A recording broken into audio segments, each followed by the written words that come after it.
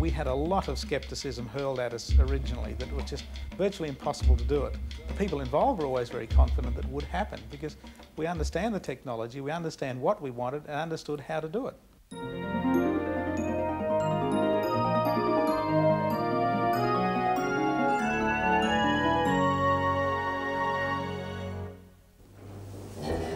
A cow with a healthy newborn calf. It's a natural everyday event. But with births like this, CSIRO scientists are forging a link between the cattle of two continents. The calf is a purebred African Tuli, taken as an embryo from its natural mother in Zimbabwe, and its surrogate mother is an Australian Friesian, flown 5,000 kilometres to be implanted with her offspring to be. And this is where genetic history is being made. A tiny dot in the Indian Ocean, Australia's quarantine centre on the Cocos Islands. The aim of the project is to improve the genetic makeup of Australia's northern herds. And Dr John Frisch and his CSIRO colleagues found the new blood they were looking for in Africa. So we wanted the African breed specifically because Africa is a continent that is very similar to Australia in many respects. The climate's very similar, the requirements that, that cattle need just to survive and produce in that area very similar to the, the requirements here. The Boran from Zambia, with its distinctive hump, and the Tuli from Zimbabwe evolved in harsh environments very similar to tropical Australia. And as well as providing excellent beef, they are very fertile, a feature needed to improve productivity of the northern herds. The African breeds are also highly disease resistant, but importing them live straight to Australia was out of the question. Africa is paradise for a host of animal diseases not found in Australia. So CSIRO proposed a daring strategy. Bring together hand-picked animals in Africa, then collect and freeze their minute embryos straight from the protective envelope of the womb. Right from the outset, the team faced unique difficulties.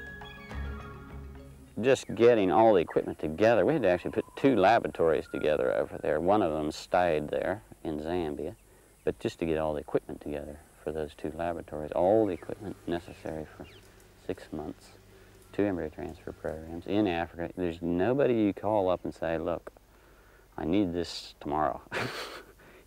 you got to have it with you. In exchange for access to the genetic potential of the Boran and Tuli, the CSIRO team trained African staff in embryo transfer technology and left behind a fully equipped laboratory. The Cocos Islands is Australia's offshore quarantine station and provided the rendezvous for the frozen embryos from Africa and their adoptive Australian mothers-to-be. Once the embryos were implanted, it was a case of waiting with a little more than the usual air of nerves and anticipation.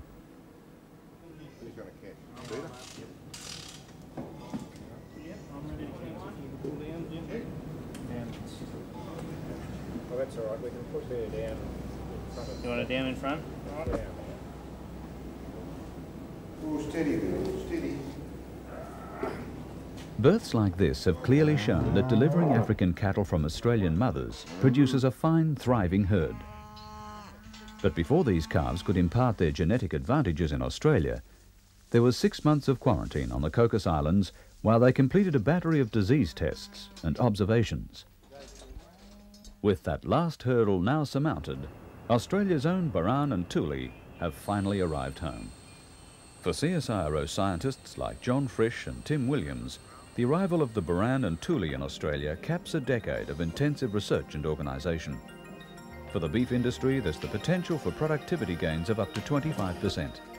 And a consortium of Australian beef producers has ensured the financial support that will see the project to its conclusion.